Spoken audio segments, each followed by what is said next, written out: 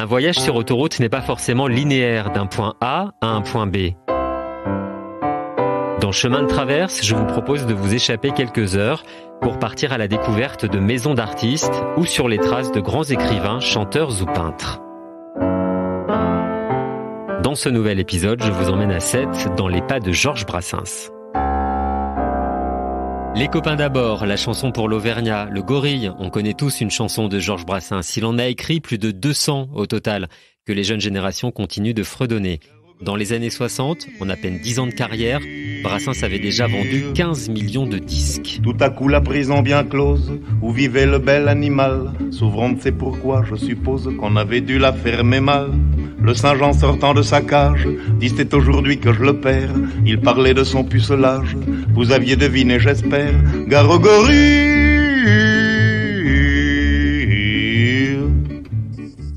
C'est ici qu'il est né, le 22 octobre 1921, à l'époque où 7 s'écrivait encore 7 CE de TE.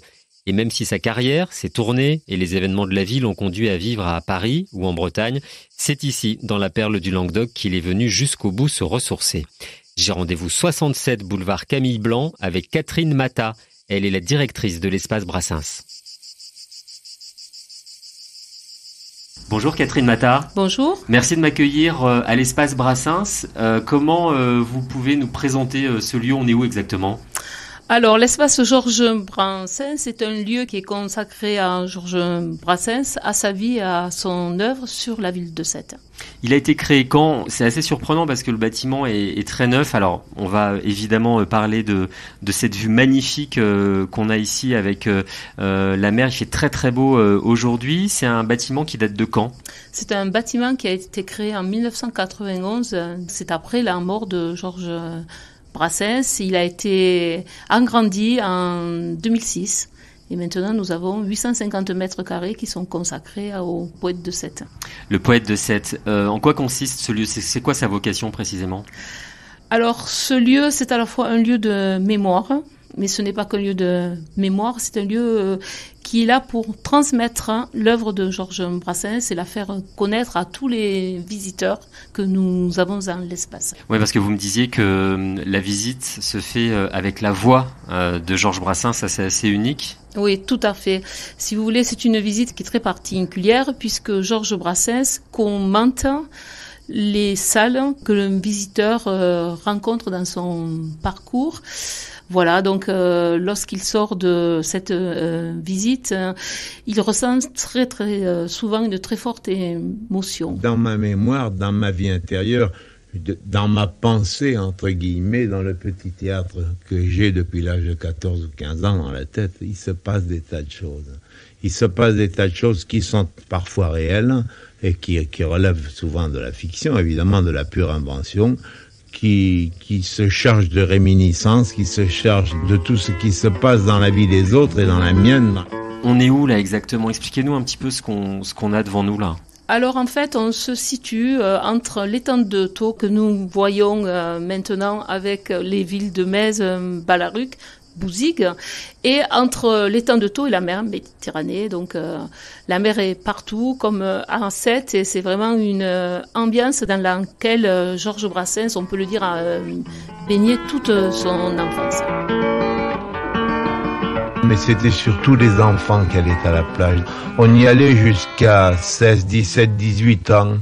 D'abord tout petit pour faire des pâtés, et un peu plus tard pour voir des filles, quoi.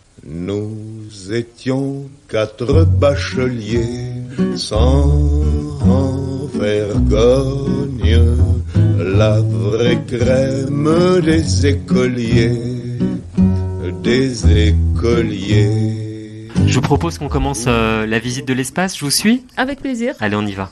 Le parcours est un espace ouvert où on navigue librement dans l'intimité de Georges Brassens, de son enfance à 7 au premier pas sur la scène des petits cabarets parisiens, au centre, la place d'un village a été reconstituée avec un banc public pour les amoureux. Ils se tiennent par la main, parlent du lendemain, du papier bleu d'azur, que revêtiront les murs de leur chambre à coucher. Ils se voient déjà doucement, elle cousant lui fumant dans un bien-être sûr, et choisissent les prénoms de leur premier bébé. Les amoureux qui se bécotent sur les bancs publics. C'est très interactif, hein, ce, cet espace. Il y a beaucoup d'animation et il y en a euh, un petit peu à tous les niveaux. Pour les enfants notamment, vous me parliez de la transmission, c'est important de transmettre euh, l'œuvre de Brassens aujourd'hui aux, jeunes générations alors moi, je pense que ça l'est, effectivement, parce que Brassens, c'est un patrimoine. Il ne, nous appartient pas qu'à nous, euh, les Sétois qui l'ont connu, il appartient à tout le monde. Et je pense que son répertoire est porteur de euh, valeurs qui font du bien tout le monde. Sont un peu quelques clés. Et il est donc important de les transmettre. Et c'est la raison pour laquelle l'espace a euh, créé des parcours qui sont dédiés à la petite enfance des enfants qui sont âgés de 0, quelque chose jusqu'à 3 ans et que l'on accueille tous les lundis matins hors vacances. Et ils découvrent Georges Brassens, c'est à leur niveau, avec des jeux qui sont adaptés, avec des thèmes sur les instruments. Le musée est à eux. Il est actuel encore, Georges Brassens, ces textes euh, traverse comme ça les, générations, le temps Écoutez, moi je pense qu'on ne peut pas dire euh, le contraire. En tout cas, il est euh, chanté dans plus de 30 langues, il est repris par les jeunes générations.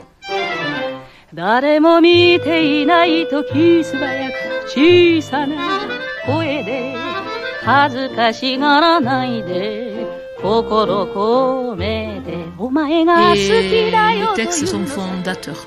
Et je pense que c'est pour ça qu'il est universel. Vous me parliez aussi de, des, rappeurs qui le citent beaucoup en référence. Alors c'est vrai que ça peut paraître un peu, euh, un peu étonnant comme ça, mais euh, il y a une histoire de mots dans tout ça, de rythme. Il avait un, un flow, comme on dit. Enfin, les rappeurs, ils parlent de flow, et Georges Brassens, il avait un flow aussi. Tout à fait. Moi, je pense que l'écriture est au centre de tout, à la fois pour les euh, rappeurs, à la fois pour Georges Brassens. Il l'a dit ça de multiples reprises. Et puis, il y a une euh, rythmique des vers. Et je pense que les rappeurs, ils sont également sensibles. Quand ils sont tout frais, tout juste prêts, c'est certes vrai. Les jeunes blancs becs prennent les vieux mecs pour des benets. Une fois vieillis, une fois les cheveux gris, la calvitie, le gros de ces gars-ci prennent les jeunes pour des imbéciles. Moi qui aussi, entre deux aussi, je m'adresse à eux. Sans être grossi et à vous aussi, je dirais ça que le temps ne fait rien à l'affaire, offre peu d'aide. Lorsqu'on est con, y a rien à faire, je connais pas de remède. Qu'on soit prépubère ou bien grand-père ou bien même qu'on décède. Lorsqu'on est con, là rien ne sert, crier à l'aide. Le temps ne fait rien à l'affaire, offre peu d'aide. Lorsqu'on est con, y a je connais pas de remède. Entre vous, plus de controverses, il suffit qu'on reconnaisse que vieux con et con de la dernière affaire sont aussi cons. Vous les louveteaux, les Puisqu'on est là, euh, parlez-moi un petit peu de, de cette euh, loge reconstituée avec des photos d'artistes. On le voit euh, bien entouré avec Jacques Brel, tiens, avec Bobby Lapointe, je le vois ici. C'est le côté showbiz de, de Georges Brassens, même si j'imagine il aimait pas tellement ce mot, mais en tout cas il côtoyait beaucoup, du beau monde. Alors il côtoyait du beau monde, mais bon, showbiz, évidemment, je suis d'accord avec vous. Je pense que le terme n'est pas tout à fait adapté. Je crois que c'était un homme de scène et un homme d'écriture et, et, un poète euh, musicien. C'est plutôt comme ça que je le définirais. Et effectivement, quand on le voit avec Boubila en pointe, quand on le voit avec Raymond Devos, on comprend pourquoi. Changement de décor, nous partons maintenant sur les hauteurs de la ville, dans les quartiers populaires de cette au 20 rue Georges Brassens, anciennement la rue de l'Hospice. C'est là que se trouve sa maison natale, une maison qui ne se visite pas. Elle est aujourd'hui habitée par la famille Brassens. On arrive devant la maison natale de Georges Brassens. c'est un lieu important, c'est là que tout commence. Parlez-nous de sa famille déjà. Euh, Alors, on peut dire que c'est là que tout commence, mais moi je pense que l'histoire de Georges Brassens, elle a commencé avant sa naissance. Et elle a commencé au 19e siècle lorsque euh, les grands-parents euh, maternels qui viennent du golfe de Gênes émigrent sur Sète. Et c'est vrai que Sète, là où on se trouve actuellement, c'est un peu l'Italie, hein, c'est une partie de c'est dans les parties hautes, on descend vers euh, le port. Ça rappelle un peu Naples avec le linge aux euh, fenêtres. Euh, donc, ce sont des gens simples, des gens, on dirait, on pourrait même dire pauvres, puisque le grand-père est peintre en bâtiment, journalier, et ils vont avoir sept enfants, donc trois vont survivre. La mère de Georges Brassens, sa tante Antoinette, qui plus tard il retrouvera sur Paris, et sa tante Louise, dont euh, le fils Georges Granier habite, c'est actuellement la maison que nous avons sous nos yeux. Donc c'est toujours la famille hein, qui se trouve ici. Absolument. Et le sens de la famille, justement, c'était important hein, pour Brassens. Il était très proche de ses parents. Hein. Alors Brassens était très proche de ses euh, parents. Ses parents l'ont profondément marqué. Sa mère, donc euh, italienne, une forte personnalité, très présente, très possessive, qui avait euh, pensé que pour son fils, il fallait que les études soient réussies pour avoir une meilleure position sociale. Bon, quand on sait la suite de Georges Brassens, on comprend qu'elle a certainement marqué. maman, cette chanson, maman, maman, je redeviens petit garçon. Alors je suis sage en classe et pour te faire plaisir, j'obtiens les meilleures places.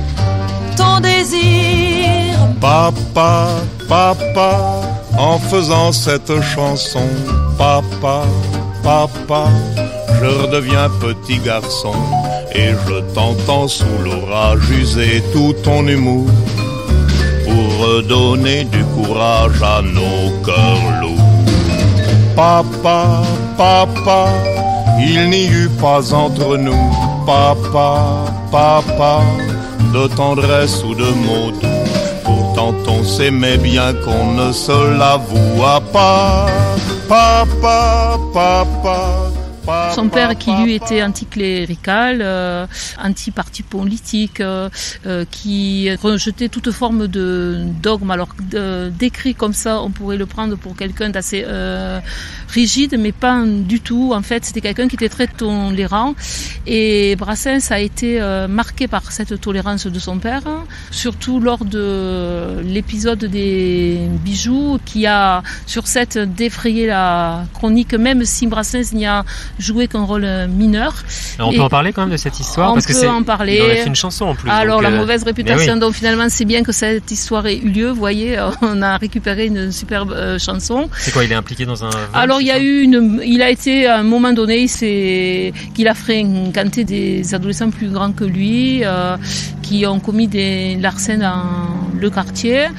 Et Brassens s'y est plus ou moins associé, même de loin, puisque lui, son seul larcin, ça aurait été de dérober quelques bijoux à sa sœur, mais sans dire euh, au fameux chef de bande d'où ça euh, venait. Il avait suivi sans vraiment suivre. C'était un peu Brassens. Et donc, par contre, l'affaire a eu un grand retentissement sur cette. Il a été condamné à de la prison avec sursis. Et quand les gens euh, criaient à mort, en prison, etc., son père qui est venu, c'est le récupérer ne lui a rien dit, ne lui a fait aucun reproche. Donc je pense que cette tolérance-là, il a beaucoup apprécié. Et c'est vrai qu'elle a donné lieu à la mauvaise réputation, qu'elle a aussi donné lieu à maman-papa, parce que il parle de sa mère, de ses mauvais résultats euh, scolaires, et, qui regrettait de les avoir fait pleurer, et de la tolérance euh, de son père. En n'écoutant pas le clairon qui sonne, mais les braves pas que l'on suive une autre route que non les braves j'en n'aime pas que l'on suive une autre route que tout le monde me montre au doigt, sauf les manchots, ça va de soi. Quand je croise un voleur malchanceux poursuivi par un cutéreux, je lance la patte et pourquoi le taire? Le cutéreux se retrouve par terre. Je ne fais pourtant de tort à personne en laissant courir les voleurs de pommes, mais les braves j'en aime pas que l'on suive une autre route. J'aurais pu devenir un pilleur de banque, un gangster, un Al Capone de petite catégorie, racontera-t-il plus tard au sujet de cet épisode. Nous remontons ensuite une colline, direction le collège Paul Valéry. Georges y entre à l'âge de 11 ans, mais il déteste l'école. Sa mère, Elvira, le voit devenir médecin ou avocat, mais ses résultats sont si mauvais que Simone, sa demi-sœur, falsifie les notes pour ne pas contrarier cette femme de caractère. Au collège, Georges fait des rencontres décisives, Alphonse Bonafé notamment, le professeur de français. Il va jouer un rôle déterminant. Si je ne l'avais pas rencontré, racontera plus tard Brassens, je me serais emmerdé comme un rat mort. D'abord, c'est un jeune professeur. Il arrive du Havre. Il a été ami avec euh, Jean-Paul Sartre. Il a été champion de boxe. Et il a un style hein, qui le différencie complètement de tout ce qu'il a connu jusqu'alors. Il ne s'assied pas derrière le bureau comme les autres euh, professeur, il s'assied carrément dessus et euh, il remet en cause un peu l'enseignement tel qu'il a été pratiqué jusqu'alors. C'est le déclic hein, pour Georges, pour le jeune Georges, qui s'intéresse pas vraiment aux études, c'est vraiment la personnalité de ce professeur-là qui va engendrer pas mal de choses. Et euh, notamment les mots, la poésie, ça vient de, là. Hein. Oui, je crois que ça a été un choc pour lui, bon, pour les autres euh, élèves également, hein, parce qu'il n'avait jamais connu un professeur de cette nature-là. Mais euh, pour moi, je fais un peu la comparaison avec euh, le rôle de Robin Williams dans, le cercle des poètes disparus. Je me l'imagine un peu comme ça. Tous les élèves sont sous le charme. Et c'est quand même une, un peu une ironie de l'histoire de se dire que lui qui était pas fort à l'école, il est appelé plus tard le poète de la chanson française. C'est vrai, mais en même temps, euh, heureusement hein, euh, qu'on peut être poète sans être fort à l'école, hein, et on a connu comme ça d'autres exemples. Mais Alphonse Bonafé restera toujours une référence pour Georges Brassens. Il lui a montré certains de ses poèmes euh, plus tard, et Bonafé lui a demandé de travailler encore et encore l'écriture. Lorsque plus tard Georges Brassens écrira certaines chansons, il se demandera toujours est-ce que cette chanson plairait à Bonafé? Et tant qu'il pense que ça lui plairait pas vraiment, il continuait à se retravailler euh, sans cesse. J'ai négligé mes études parce que je passais mon temps avec une musique dans la tête et dès que j'avais entendu une musique qui me plaisait, je la ruminais pendant une semaine ou deux ou trois, puis je l'abandonnais après au profit d'une autre, mais elle revenait après si elle tenait le coup, et je passais mon temps à éprouver les espèces de frissons que je n'ai jamais dans la vie ressentis autrement que par la musique. Un autre écrivain, lui aussi natif de Sète, Paul Valéry, décrivait sa ville comme une île singulière, avec d'un côté la mer et de l'autre l'étang de Thau. Georges Brassens, devenu célèbre à Paris, en fait son terrain de jeu lorsqu'il revient à Sète, le lieu des retrouvailles avec les copains. Sur la grand-mare des canards, et s'appelait les copains d'abord, les copains d'abord. Ces fluctuates mergiture, c'était pas de la littérature, n'en déplaise aux jeteurs de sorts, aux jeteurs de sorts. Son capitaine et On s'approche de l'étang avec une vue euh, incroyable et au loin on aperçoit euh, un phare. C'est un lieu où il aimait se rendre aussi. Hein. Alors oui, Brassens aimait particulièrement l'étang de Thau. Il aimait la mer, mais il aimait quand même particulièrement l'étang de Thau, où il a été depuis son enfance euh, pêcher des crabes avec euh, euh, les copains, avec son père également. donc c'est un lieu qu'il aimait et il a découvert le phare de Ronquerolles. Et c'est un phare où il allait lorsqu'il est devenu donc célèbre et qu'il avait acquis un bateau pour tout simplement se baigner, nager, plonger et ramasser des moules qui étaient sur les rochers. Georges Brassens a eu plusieurs bateaux. Le Sauve qui peut, qui est en l'espace Georges Brassens et qui accueille le visiteur.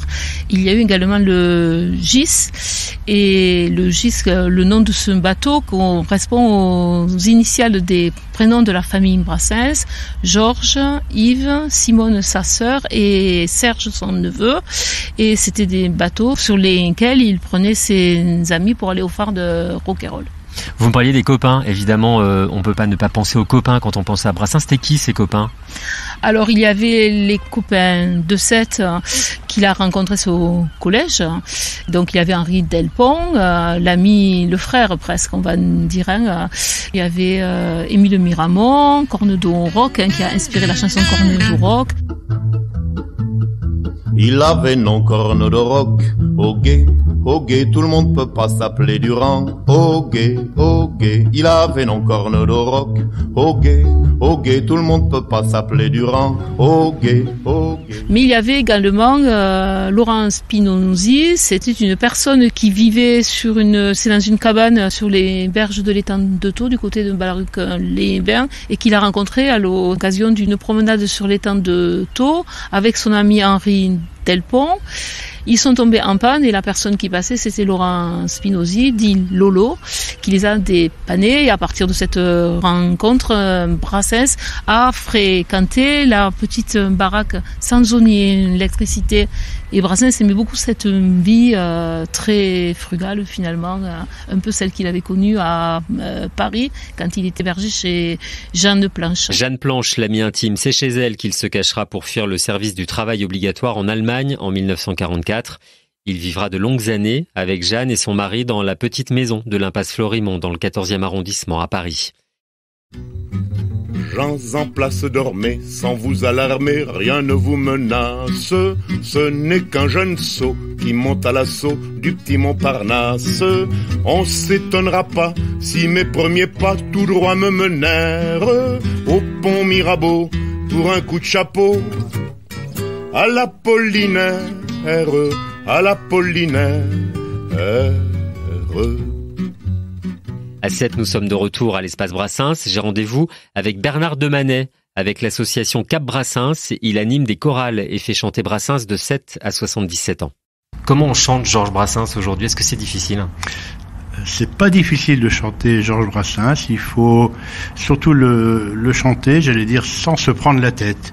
Il faut le chanter comme on l'aime, comme ça vient. C'est ce qu'on veut faire avec la chorale de l'association Cabrassens et la chorale que, j'anime également en liaison avec l'espace Brassens qui réunit à la fois des enfants, euh, des, des adhérents de Cabrassens et des résidents de maisons de retraite qui nous rejoignent. On dit souvent qu'il avait un, débit, un rythme assez unique. Euh, oui, c'est étonnant parce qu'on pense souvent que c'est monotone. Or, les musiques de Brassens ne sont pas monotones du tout, elles ne sont pas faciles. Et ensuite, euh, on pense également qu'il chantait peut-être lentement, ce qui n'est pas du tout le cas. Et on est souvent surpris quand on chante de voir qu'il chantait quand même assez rapidement. Quelle est la plus difficile à chanter, selon vous? Alors pour le moment, celle qu'on a le plus de mal à, à chanter, euh, il y en a une qui est difficile à chanter, c'est la chasse aux papillons, parce qu'elle est, elle est très rapide. Un bon petit diable à la fleur de l'âge, la jambe légère et l'œil polisson, et la bouche pleine de joyeux ramages, arrête à la chasse aux papillons. Comme il a et il y en a une autre, c'est mourir pour des idées parce que Mourir pour des idées, il l'interprétait vraiment à sa façon, en faisant des pauses quand il le voulait, ce qui n'est pas facile à faire avec une chorale. Avec les enfants, j'imagine que c'est un travail encore différent, encore particulier. Vous leur faites chanter quoi de Brassens? Alors les chorales, on avait un guitariste qui les a accompagnés. Il leur a fait chanter une chanson assez lente, La canne de Jeanne, et il leur a fait chanter également Le petit cheval.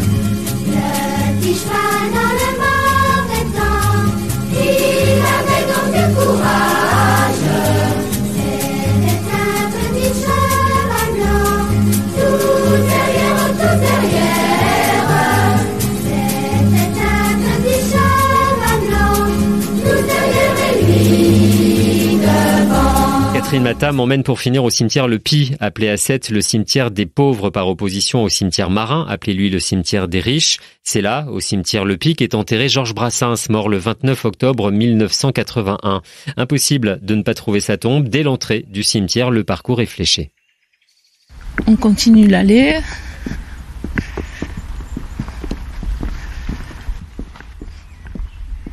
Et on y arrive. Et on y arrive.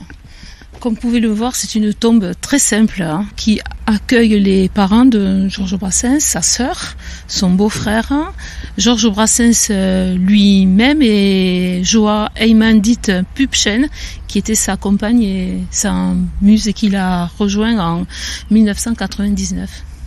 Alors, il a écrit une chanson, faut que vous nous racontiez ça. Georges Brassens vous l'explique qu'il n'a pas tellement envie d'être enterré euh, dans un cimetière, mais c'est juste une chanson. Il nous l'a expliqué à travers différentes euh, interviews que pour lui, il n'avait jamais eu l'idée d'être euh, enterré sous la plage de la Corniche, mais il est vrai que beaucoup de personnes le croient encore et peut-être sont contentes d'y croire.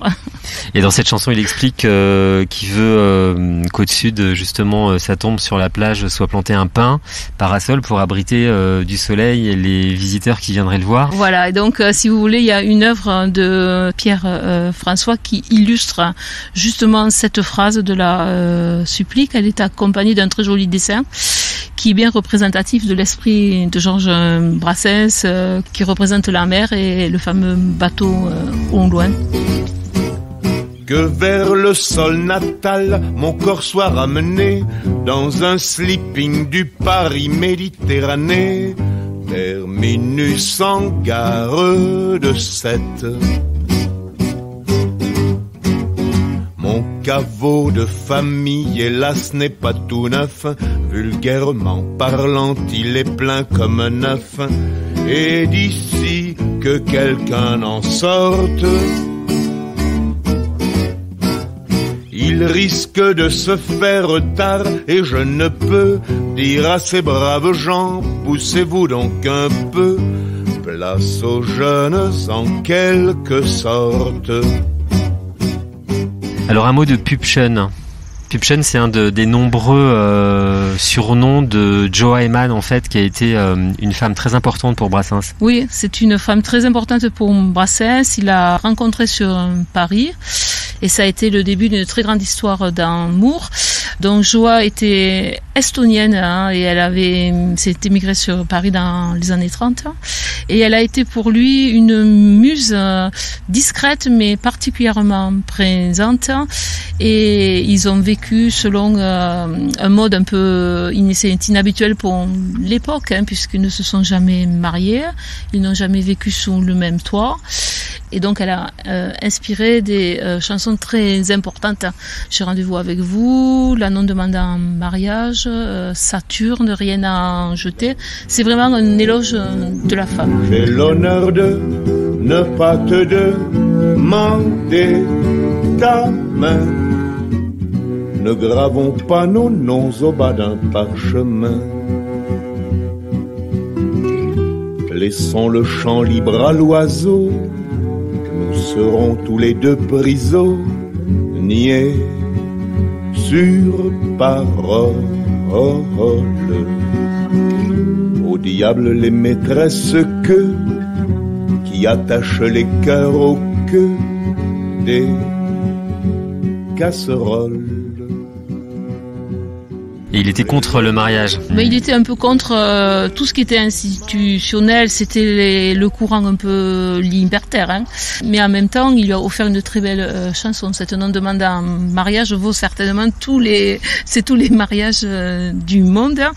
Et il avait une vision de la femme très moderne finalement. Hein, il ne voulait pas de servante, etc. Donc c'était une façon de lui déclarer son amour et elle y a été sensible. Elle a d'ailleurs tout le temps dit Je n'ai pas vécu dans l'ombre de Georges Brassens, j'ai vécu dans sa lumière. Et lui a toujours été satisfait d'être avec elle, hein, puisque paraît-il, la veille de son décès, il lui aurait dit euh, Nous avons été bien ensemble et j'aurais aimé que ça dure un peu plus.